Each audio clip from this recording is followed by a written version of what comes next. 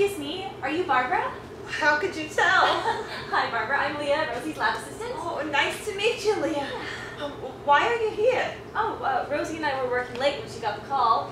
Didn't want to miss this, as I'm sure you can imagine. What a bunch of idiots. Barbara, good, you're here. Listen to me. You cannot have this baby before midnight. Not before the 13th. Do you understand? If they try to induce labor before then, I want you to get up and walk right out of here. Understand? Relax,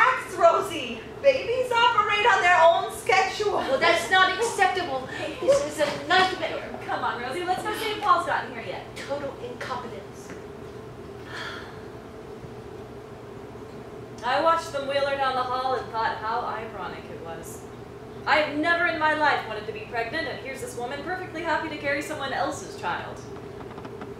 I admired her. I would not have traded places with her for all the gold in Fort Knox, but damn it, in that moment,